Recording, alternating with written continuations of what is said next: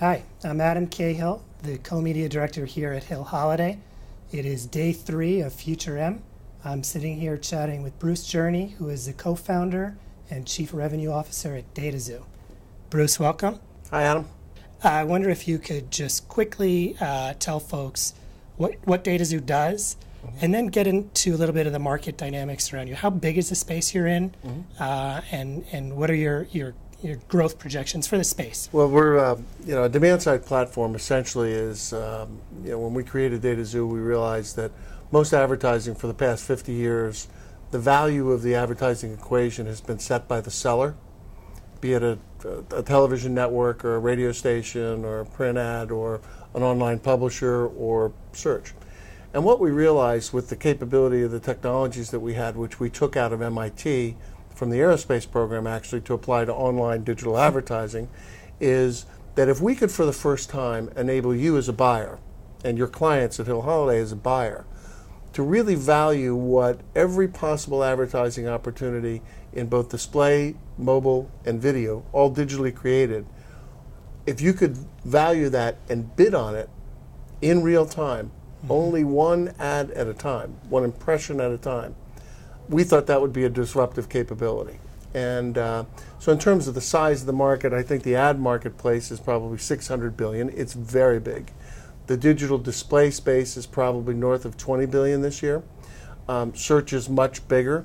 Google, as you know, has a 168 billion dollar market cap, and um, there's enormous opportunity for a company that's a purely technology-based company like ours to enable you as a buyer to really get the best value return on investment you can for your clients' marketing dollars. If you uh, had to speculate, say, let's say three years out, um, what percentage of of what's now display, online display media, do you do you think will be flowing through platforms like DataXu? It's very hard to say because it's so new. But I think the reality is is that you have um, so many intermediaries in the marketplace right now that have been established over time, from um, you know from the dollars spent by an advertiser to what the publisher, meaning the website, receives in display, or the, you know the the the, uh, the mobile company or the video company. Mostly all talking about the websites as the end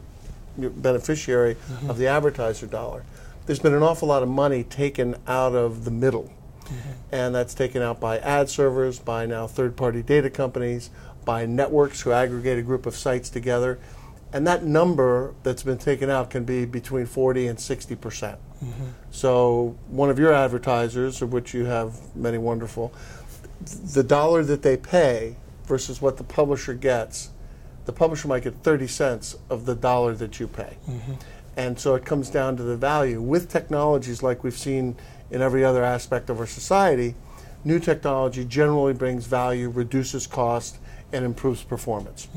And that's what um, that's what we purport to do. So, and we've we've proven that to great success. So I think that you will see a massive shift, almost a disruptive shift, of money moving into a digital auction environment where your buyers are able to bid through our technology only on the impressions they want to buy at the time they want to buy them and not buy anything else. And that's that's new and that's very revolutionary. You mentioned um, third-party data providers. Yes.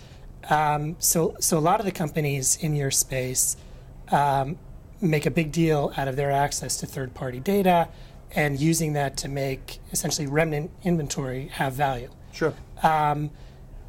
But I'd love to know your perspective on how important third-party data is versus other ways uh, to make decisions about valuing a piece of media. I think for certain companies, creating creating a bidder in an auction environment, just a bid, isn't technologically that hard. I think um, it remains to be seen where the real value of third-party data will go. Uh, most of the players out there are basically reselling cookies to other people.